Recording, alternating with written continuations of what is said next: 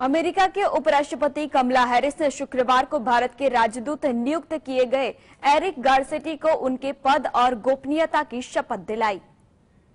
America की उपराष्ट्रपति कमला Harris ने शुक्रवार को भारत के राजदूत नियुक्त किए गए एरिस गार्सेटी को उनके पद और गोपनीयता की शपथ दिलाई। उनका नामांकन जुलाई 2021 से ही अमेरिकी कांग्रेस के समक्ष लंबित था, लेकिन देरी होने की वजह बावन साल के गार्सेटी पर लगे आरोप थे। उन पर आरोप था कि उन्होंने अपने एक पूर्व सलाहकार के खिलाफ लगे यौन उत्पीड़न के आरोपों को गंभीरता से नहीं लिया और इस मामले को अच्छे ढंग से नहीं संभाला।